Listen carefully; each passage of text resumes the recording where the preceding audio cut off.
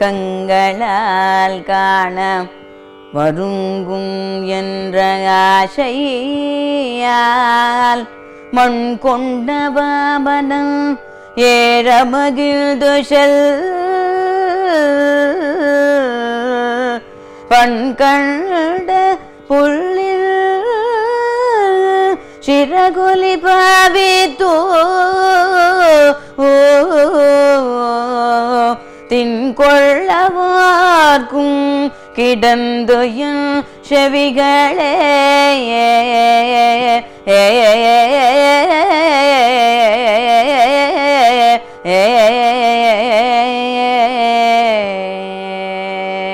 ஆழ்வார் திருவடிகளே.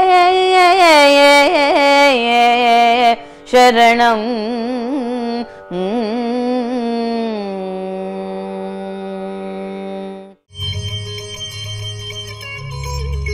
భక్తామృతం విశ్వజనానుమోదనం సర్వార్థదం శ్రీషఠకోపవాङ्మయం సహస్రశాఖోపనిషత్సమాగమం నమామ్యహం ద్రావిడవేదసాగరం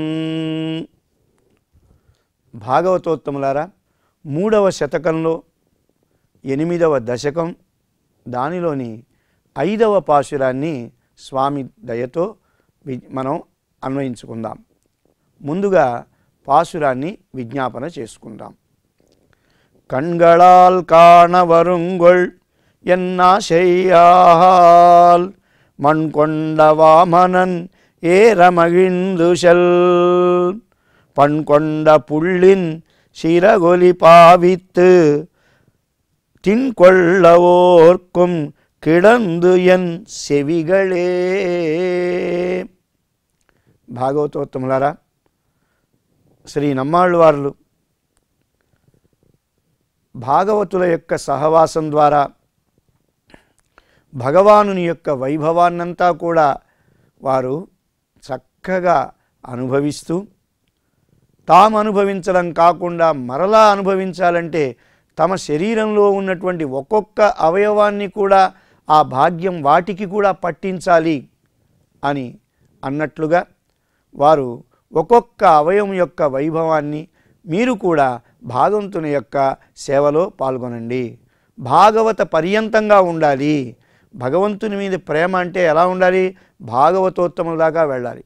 ఒక వ్యక్తి మీద మనకి గౌరవం ఉందనుకోండి ఆ వ్యక్తి వాడేటువంటి వస్తువుల మీద కూడా మనకి గౌరవం వస్తుంది. చూడండి గొప్ప గొప్ప వాళ్ళు వాడినటువంటి వస్తువుల్ని జాగ్రత్తగా వాటిని ప్రిజర్వ్ ఎందుకు చేసి పెడుతున్నారు? ఆ వ్యక్తి దాన్ని వాడాడు కనుక అలాగనే మన శరీరంలో కూడా మంచి ఆత్మ ఉందంటే ఈ శరీరాన్ని కూడా పరమాత్మ ప్రేమిస్తాట ఈ శరీరం అంటే పరమాత్మ దగ్గరకు వచ్చి ఇంతకు ముందు పాశురంలో గమనించాం స్వామి వచ్చి కౌగలించుకున్నారు. ఎందుకని ఈ శరీరంతో వాళ్ళు అటువంటి మంచి పనులు చేశారు కాబట్టి.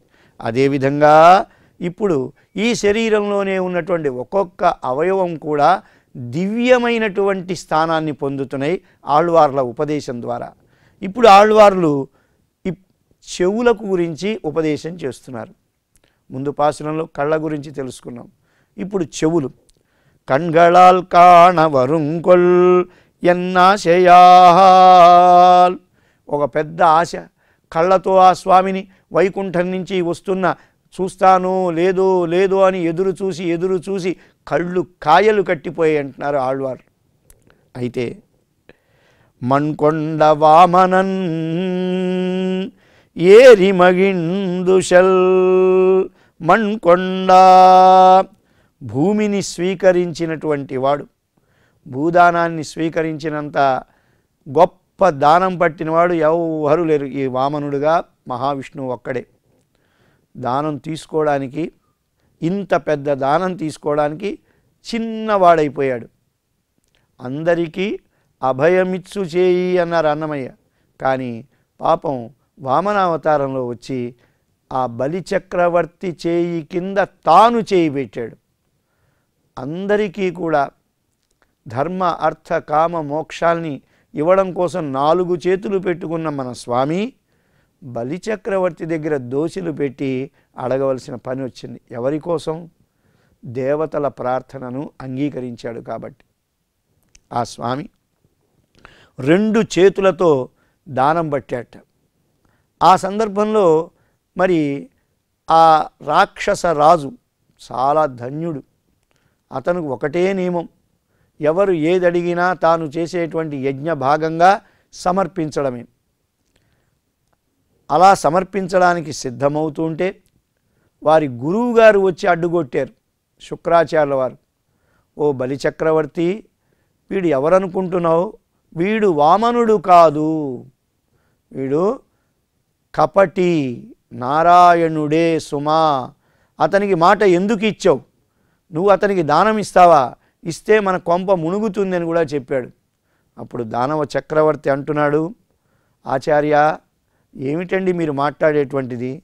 కారే రాజులు రాజ్యములు గలుగవే గర్వోన్నతిం పొందరే వారేరి సిరి మూటగట్టుకొని పోవంజాలిరే. ఎవరండి ఈ భూమి మీద శాశ్వతంగా ఉన్న రాజులు? వస్తున్నారు వెళ్ళిపోతున్నారు. ఈ భూమి ఇది నాది అంటే నవ్వుతుందిట మనం పడిపోయిన రోజు. ఇంకొకటిది అవుతుంది ఆ విధంగా దానం చేసే సమయంకి వచ్చి మీరు ఇట్లా అడ్డు పెట్టడం కాదు. ఎందరో వెళ్ళిపోయినా ఎవరైతే దానం చేశారో వారిని ప్రపంచం ఎప్పుడూ మర్చిపోలేదు. శివి చక్రవర్తి పేరు మర్చిపోయామా? దధి పేరు మర్చిపోయామా? కాబట్టి ఇలా నన్ను అడ్డు పెట్టవలదు. ఏదైనా సరే నా రాజ్యం పోయినా సరే నేను నాశనమైపోయినా సరే ఆడిన మాట నేను తప్పని బలి చక్రవర్తిలాగా దాత ఇంకొకడు ఎవడు ఉండకూడదు అని ఒక తమోగుణ ప్రధానంగా ఆ దానాన్ని వామనుని చేతిలో పెట్టేటండి. ఆ భూదానాన్ని మణ్కొండ వామనన్ భూమిని స్వీకరించినటువంటి వామనుడు తిరిగి దానిని దేవతలకు ఇచ్చేశాడు. బలిచక్రవర్తిని పాతాళంలోకి పంపించి వేశాడు. చిన్న పాదం. అడిగింది చిన్న పాదంతో. నాకు మూడు అడుగులు అని. కొలత తీసుకున్నది మాత్రం పెద్ద పాదంతో. ఏమి న్యాయమండి?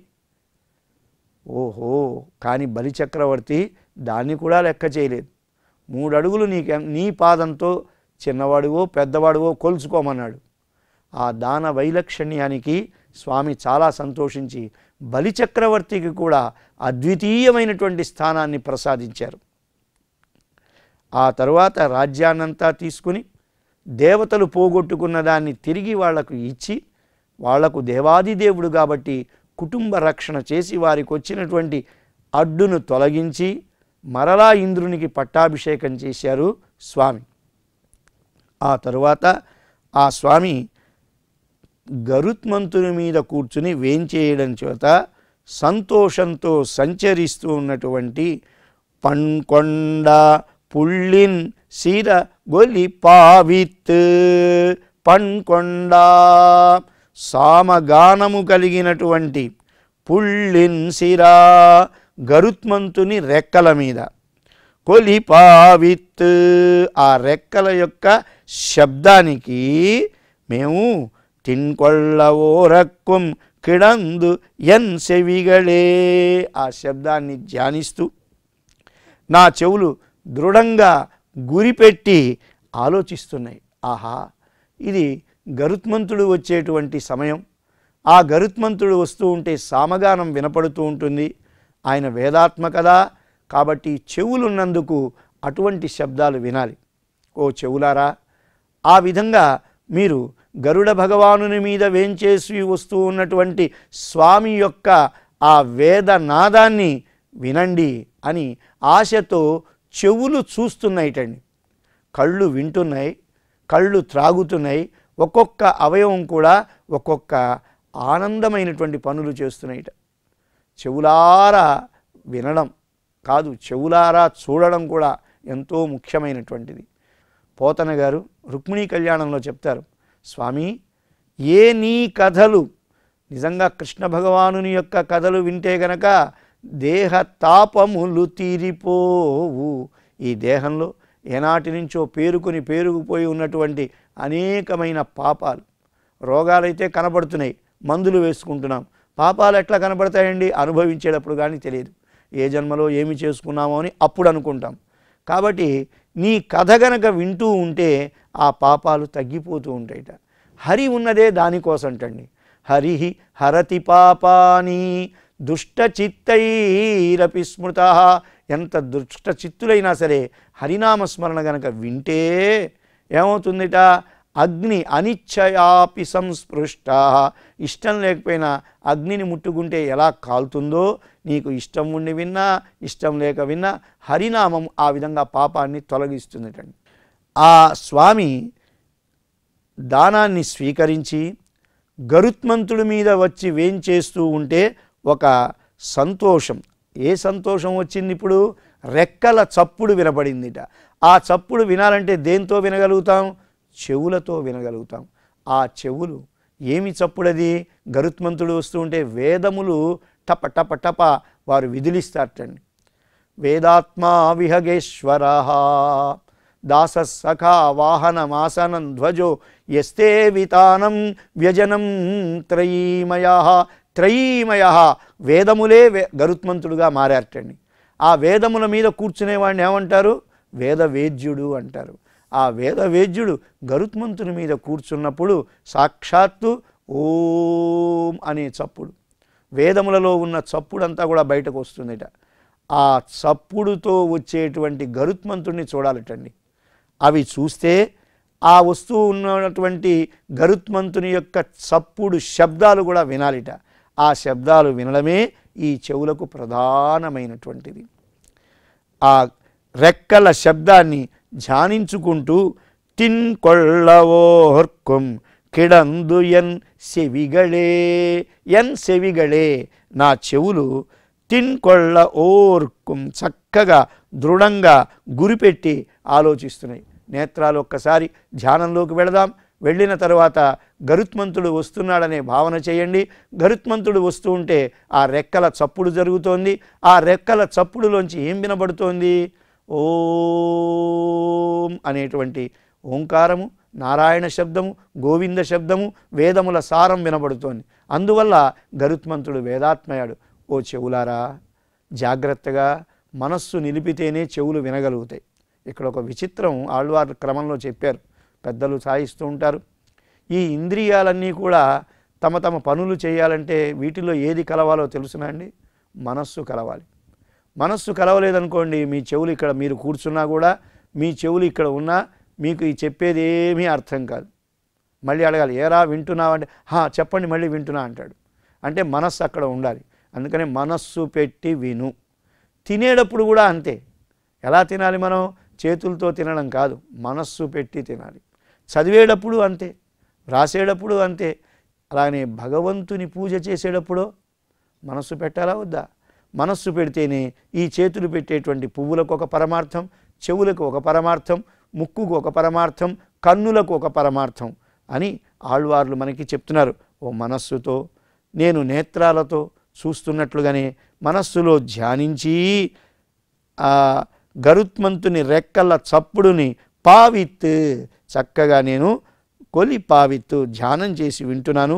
తిన్కొళ్ళవోర్కుం కిడందు ఎన్ సెవిగళే చక్షుశ్చ ద్రష్టవ్యంచ నారాయణ కళ్ళతో చూడాలిట సరే స్వామివారిని మానసికంగా కూడా మనస్సుని కళ్ళల్లో కలిపితే ఆ కళ్ళు తప్పకుండా నారాయణని దర్శనం చేసుకుంటాయి. మనస్సును తీసుకెళ్ళి చెవులో కలపండి. అప్పుడు ఎక్కడ ఏ నారాయణ శబ్దం వినపడినా మీకు వినపడుతుంది. మనస్సు లేని ఒట్టి చెవులు ఏం వింటాయండి? ఆకారంకి చెవులు. మనిషి చనిపోయిన తర్వాత చెవులు ఉంటాయి కళ్ళు ఉంటాయి ముక్కు ఉంటాయి కానీ అవి పనిచేయవు కారణం ఏమిటి? అక్కడ మనస్సు అనేది ఉండదు. అక్కడ నుంచి అది కాస్త ఆ ఇంద్రియం వెళ్ళిపోతుంది మనస్సు ఇంద్రియం. నే నేహాభిక్రమ నాశోస్తి ప్రత్యవాయో న విద్యతే స్వల్పమప్యస్య ధర్మస్య త్రాయతే మహతో భయాతే. కొంచెమైనా సరే పుణ్యం చేసుకుంటే అది ఎంతో ఫలితాన్ని ఇస్తుంది. ఆ కొంచెమైన పుణ్యం ఏమిటి? పరమాత్మ యొక్క శ్రీమన్నారాయణ నామమే. కృష్ణం కమలపత్రాక్షం పుణ్యశ్రవణ కీర్తనం. పుణ్యం అంటే స్వామి గురించి వినడం. పుణ్యం అంటే ఆయన గురించి పాడడం. ఈ రెండు ఎవరైతే చేస్తూ ఉంటారో ఆ స్వామి ఎవరు? పుణ్యశ్లోకుడు అంటారు కృష్ణ పరమాత్మ. దాని కొంచెం చేసినా కూడా త్రాయతే మహతో భయాత్. బ్రహ్మాండమైనటువంటి పాపాల నుంచి మనని బయటపడేస్తుంది. ఒక చీకటి కొట్టులోకి వెళ్ళి ఎంత దీపం పెట్టాలండి? గోరంత దీపం కొండంత వెలుగు ఇస్తుంది. అలానే చిన్న నామం గోవిందనామం ఎంతో మనకి ఉపకరిస్తుంది. ఆ విధంగా ఆ గోవిందుడు కూడా గరుడు మీద కూర్చున్నప్పుడు ఆ గరుత్మంతుని యొక్క చప్పుడు వినాలిటండి. సుపర్ణోసి గరుత్మాన్. ఎందుకు ఆ గరుత్మంతుడికి అంత గొప్పదనం ఆయన సుపర్ణోసి బంగారుమయమైనటువంటి రెక్కలు ఉంటాయిటండి. చిన్నతనంలోనే తల్లి యొక్క ఆశీస్సులు పూర్తిగా పొందినవాడు నారాయణుని యొక్క కృపను పొందినవాడు దేవలోకం నుంచి అమృతాన్ని తీసుకొని వచ్చినటువంటి వాడు నాగులకు ఆనందం కల్పించినటువంటి వాడు. త్రివృత్తే శిరోగా యత్రం చక్షు సోమ ఆత్మా సామతే. తను ఆ స్వామి ఒంటి నిండా కూడా గరుత్మంతుడికి వేదములు వేదాంతములు టండి బృహద్రతంతరే పక్షౌ అనుజ్ఞా యజ్ఞయం పుచ్చం. చందాంశ్యంగాని వేదములన్నీ వారి యొక్క శరీరంలో ఉంటాయన్నమాట. దిష్ణియా శప యజూగుంషినామ సుపర్ణోసి గరుత్మాన్. దివంగచ్చ దివంగచ్చ అంటూ ఆ గరుత్మంతుణ్ణి అనేక రకాలుగా సేవిస్తూ ఉంటారు. నమ పన్నగనద్ధాయ వైకుంఠ వశవర్తిని శ్రీమన్నారాయణ్ణి వశం చేసుకున్నటువంటి వాడు ఎవరు అంటే గరుత్మంతుట. శృతి సింధు సుధోత్పాద మందరాయ గరుత్మంటే శృతులు అనేటువంటి సముద్రాల నుంచి మందర పర్వతంలాగా పైకి లేచినటువంటి వాడు గరుత్మంతుడు. కాబట్టి ఆ గరుత్మంతుడు వచ్చేటువంటి చెవుల చప్పుడు ఓ చెవులారా మీరిద్దరూ కూడా చక్కగా వినండి. ఆ కైంకర్యంలో పాల్గొనండి అంటూ ఆళ్వార్లు చెప్పినటువంటి ఈ సందేశం మనం స్వీకరించి మన జన్మను ధన్యం చేసుకుందాం. ఆళ్వార్ திருவடிகளே சரணம். கங்களால் காண வருங்கும் என்ற ஆசையால் மண் கொண்ட பாபனம் ஏறமகிழ்ந்து செல் பண் கண்ட புள்ளில் சிறகுலி பாவித்தோ தின்கொள்ளவார்க்கும் கிடந்துயும் செவிகளே.